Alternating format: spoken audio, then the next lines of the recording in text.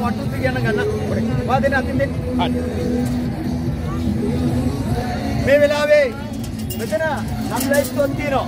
මේ නම් ලයිස්තුව මේ පින්තූර ටික තියෙන හේතුව තමයි ගෝඨාභය රාජපක්ෂ ඒ තමන් ආරක්ෂක අමාත්‍ය ධූරයේ ඉන්න කාලේ මේ රටේ අතුරුදහන් වීම තිබුණා.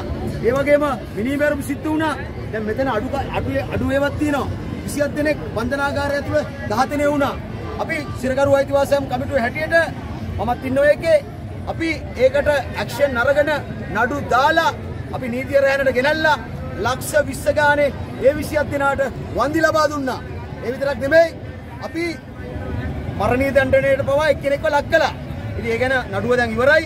ඒ ගැන නඩුව ගැන කතා කරන්න ඕනේ නැහැ අපිට. නමුත් දැන් මෙතන ඉන්න කට්ටිය ගැන කතා කරොත් මේ ඉන්නේ පොද්දල ජයන්ත කිඩ්නැපින්. පොද්දල ජයන්ත කියන්නේ නෙළුවා නෙළුවා බරටම නෙළුවා බරටම රයින්නම් ඕ.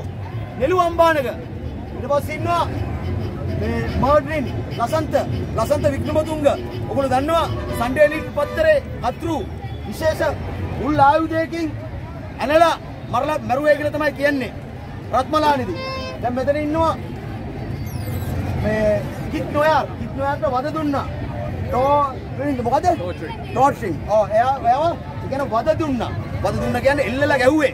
ඊට පස්සේ කොහොම අමාරුවෙන් එයා බේරුණා. අන්තිමට ඒගොල්ලෝ රට දාලා ගියා. පත්තර කතුරුවරේ.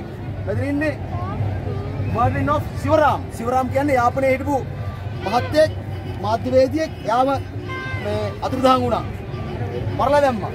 මේ ඉන්නේ අවුරුදු 12කට ඉස්සෙල්ලා එක්නැලි ගොඩ සන්තය එක්නැලි ගොඩ වහලා තිනෝ නේද? දැන් තට්ටේ බූ ගාලා විශාල වශයෙන් එයා කාලියම්මගේ බලාපොරොත්තු වුණා මේ සාපේ වදින්න කියලා.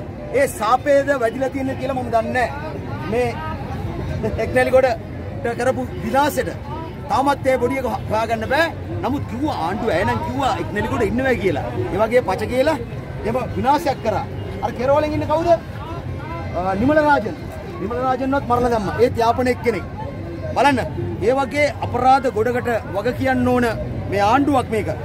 ඒ නිසා ඒවා අර කියන්නේ අපි කාලේ වැලිතලාවට යට වෙලා ගිහිල්ලා ඒවා ඔක්කොම ඉවර වුණායි කියලා ගොඩක් මිනිස්සු ඒවා දන්නේ නැහැ.